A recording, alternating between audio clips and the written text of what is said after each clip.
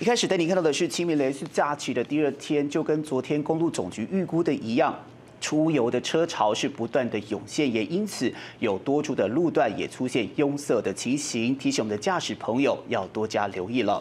公路总局是列出了几条容易拥塞的路段，包括了像是衔接国道的快速道路，以及主要省道跟干道，还有像是台九线苏花廊道以及。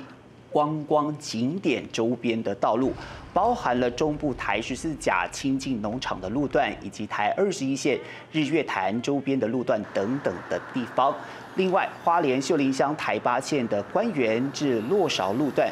因为还是有持续性的落石现象，暂时是无法清理的，所以呢，这个路段是暂时预警性的封闭。建议我们的用路人出发之前，得先查询好使用的路段，才不会影响到您出游的兴致。